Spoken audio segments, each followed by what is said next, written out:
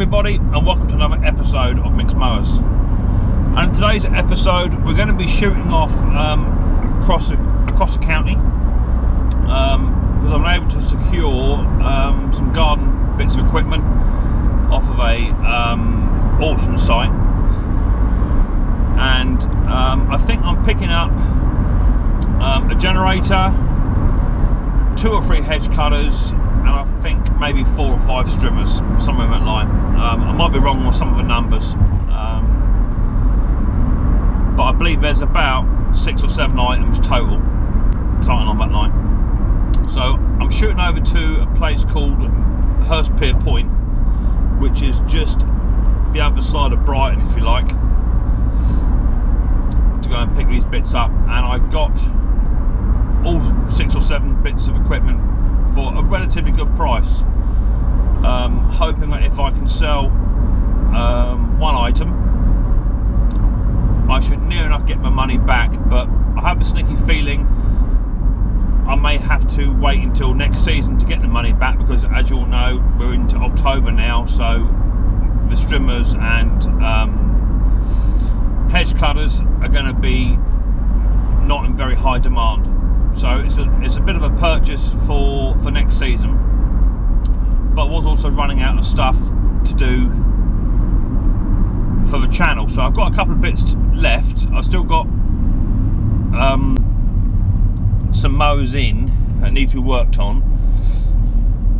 I've got a few, not a great deal. I've got it just about right this year. uh, Coming out of a season with probably four or five mowers left, whereas last year I had quite a few left actually. But I've been speaking to somebody else on, on YouTube. He's also got a nice mower collection or extensive mower collection, and he's on about the possibility of me purchasing some mowers off of him as well and doing some further trading with him, which would be cool.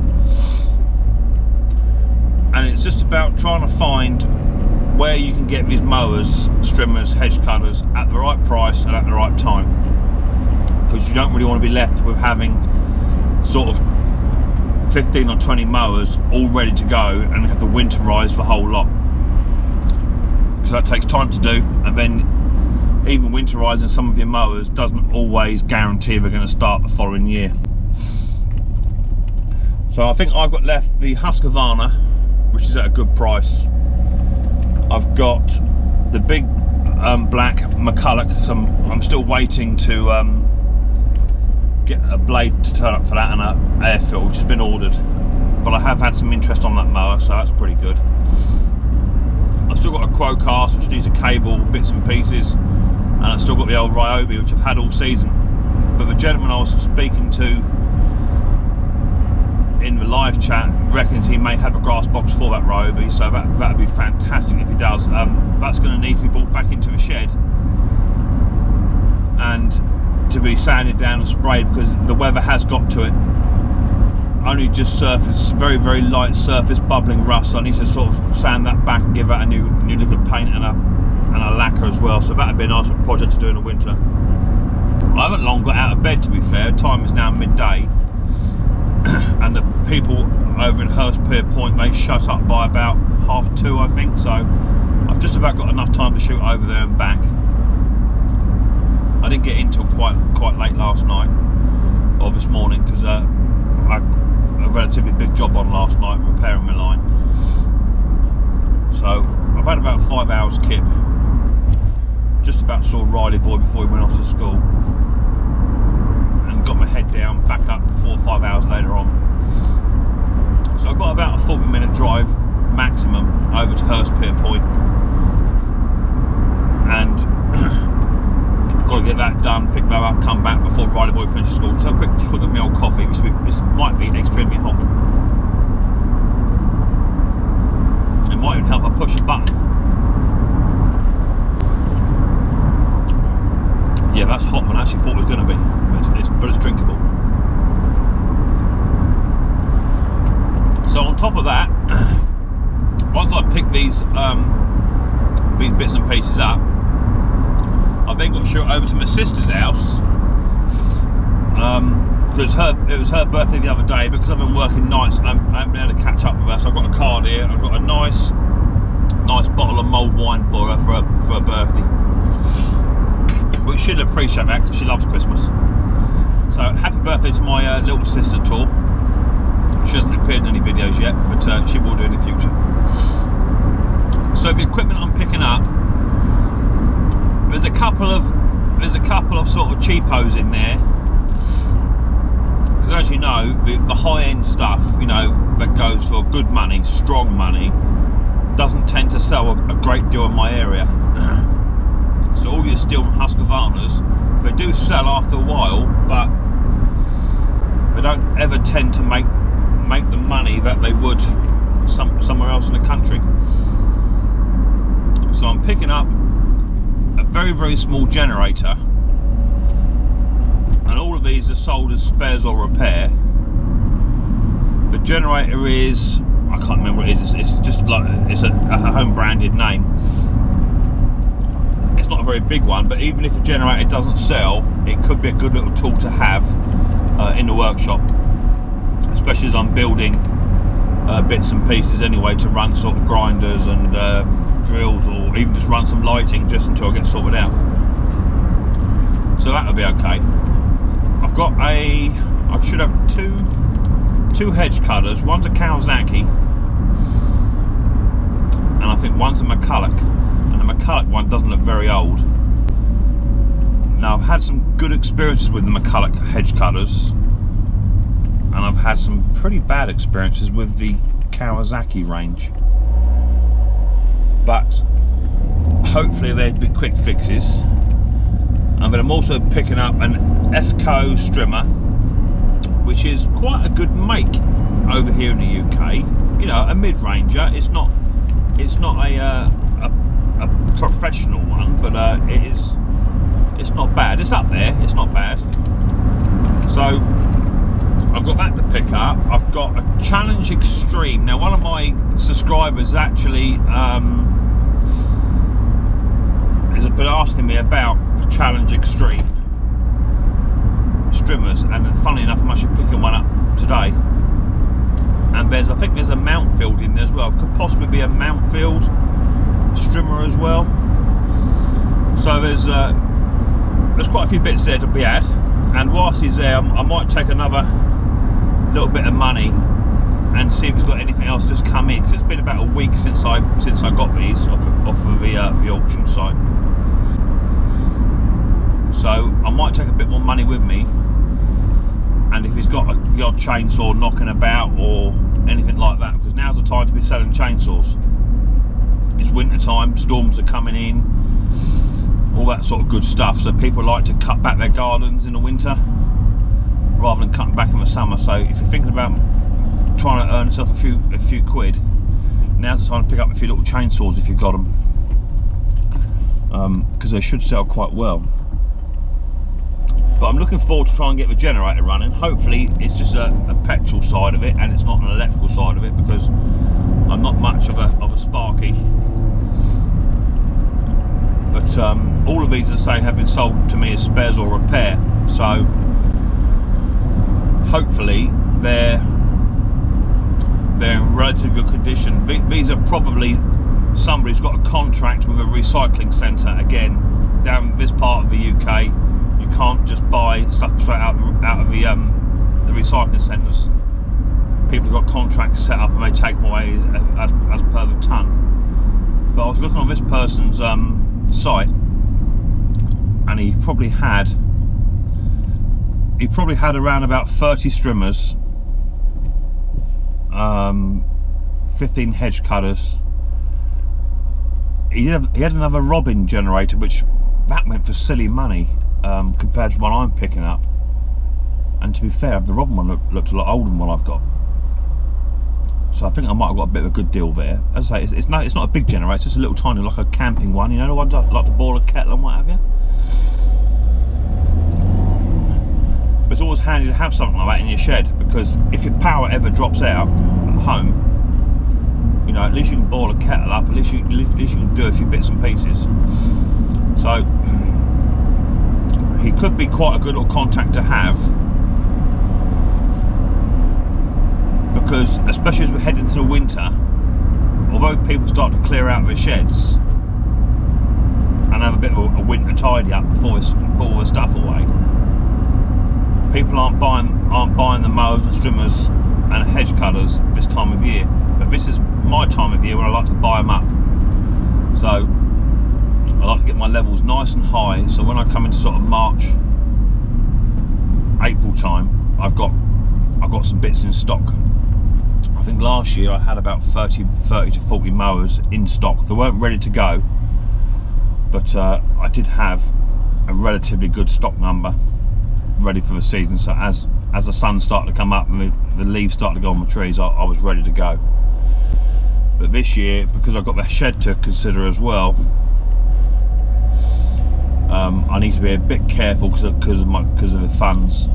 Because as, as you all should know, it's not cheap to run a YouTube channel, especially when you're running a YouTube channel like me. I've got to buy, I've got to have stock in, I've got to buy the machines in, I've got to buy the spare parts in, I've got to make sure my tools are up to date, you know, all that sort of stuff. So that there is quite a big outlay to to have to run this channel. And I think some people sometimes forget that. It's not a question of just having, yeah, you can have the basic tools to do it, but you know, to do other bits and pieces like honing out cylinders and all that sort of stuff, that's, additional tools.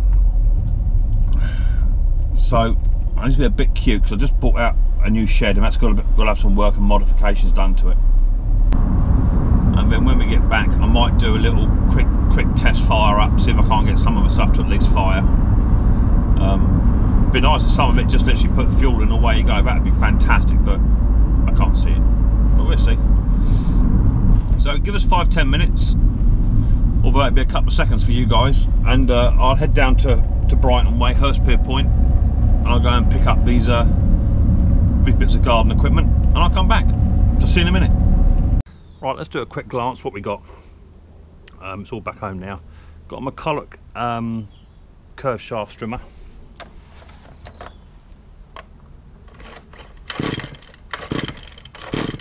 That's got compression.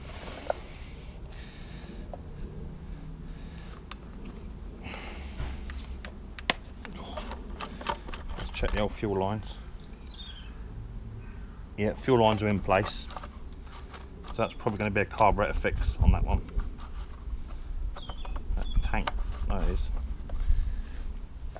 So that'll probably be a carby little chainsaw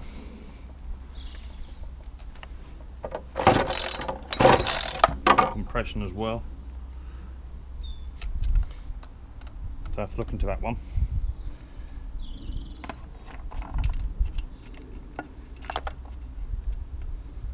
and the fuel lines are intact on there as well. So I'm looking for quick fixes really.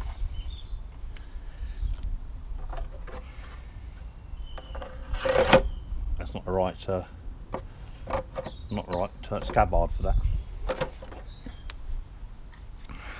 Nice little Kawasaki trimmer. That's got compression as well. A lot of oil on this one. I'm seeing. Fuel lines are in place.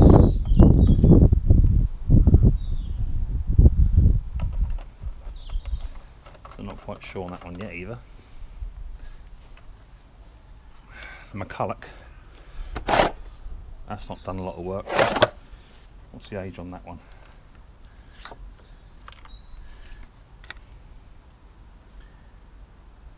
Uh, 2016 model. And I can hear a suspicious sound.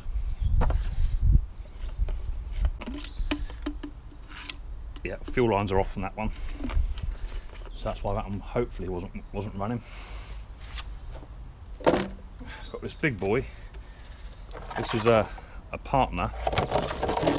Quite a nice good sized blade on this one.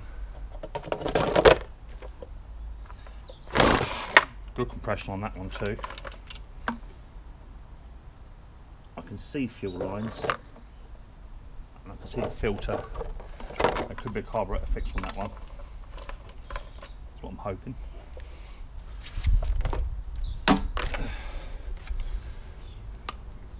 A what's this one? Power Extreme or something along the line of Power Pro Performance.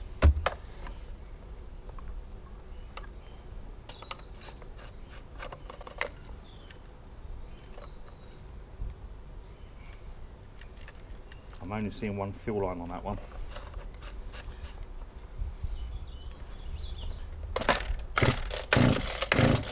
Got good compression.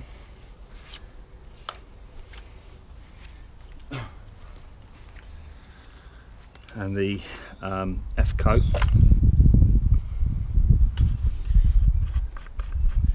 Looks like there's a bit missing from here somewhere on this one possibly. Uh, fuel lines are in place.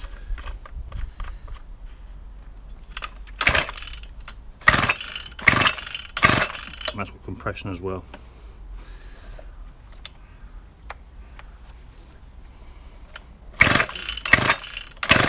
Sounds a bit dicky at the top end on that one. And then we've got the uh, generator.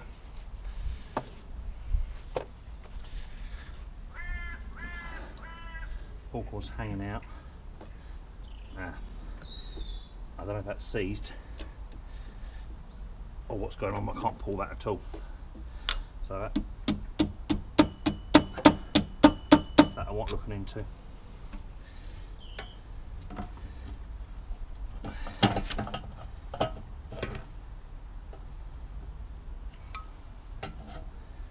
The tank looks brand new inside. So I'm hoping that's just been thrown away because um, because the pull cord stuck. That's what I got um, out of the old job lot. So I'm quite happy with it all. Um,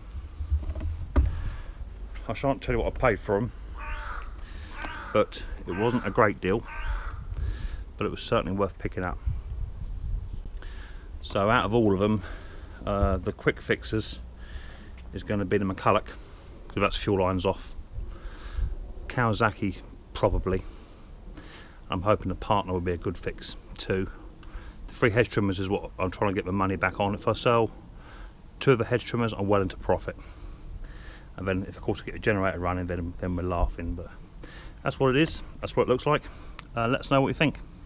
Okay, so I've got some rather nice bits of kit there, about eight or nine items, give or take. Um, three hedge cutters, cutlass trimmers, uh, a generator and a chainsaw. So um, that lot didn't cost me a great deal, as I say, but I had to lay money out for them. I'm hoping just a, the sale of one good one should give my, my money back, um, but I might have to sell two items to be within profit. So this is now what I call my time of year to um, buy all these two strokes up nice and cheap. Um, they're all empty. They've got no fuel in them at all already, so um, technically they're winterized, but they, they've been sent uh, to this person for, for a reason because they don't run. Um, I'm a bit concerned about a generator. I might have bought a Duffin, but this is a problem and the, the risk you run when you buy stuff as spares or repair, you don't get the opportunity to view or to pull the pull cord or anything. So um, hopefully it is just a pull cord is jammed and we can get it to turn. Um, need to check for all of that sort of stuff and that's irrespective of if, electrics work or not. So we shall see. Let us know in the comments down below what you think is up with either of the um, of the machines. I've just had a quick little look at them now. Um, literally done nothing to them apart just open the fuel tanks up, which is the most common thing with the fuel pipes perishing and what have you, primer bulbs, all that sort of good stuff. So let us know what you think in the comments um, and let us know what you would have paid um, as a job lot for for that little lot there. Um, just see if I if I'm paying in around the right right sort of um, margin. Uh, so thank you very much for joining me on this episode of Micks Mowers. I hope you enjoyed it. I hope you found it informative. Don't forget to give the old thumbs up. That helps towards the growth of my channel and also to give the old um, button a tap on the bell that'll give you a notification to tell you that I've released another video and on your way out just before you shut the door don't forget to subscribe if this is your first time watching Micks Mowers plenty more videos to come despite it is coming towards the end of the season I should be working all the week all year round um, getting these machines and bits and pieces up and running um, ready for next season so on top of that I've got a shed to do as well but uh, so I'm going to be busy busy busy. So looking forward to seeing you all again next time. Don't forget take it easy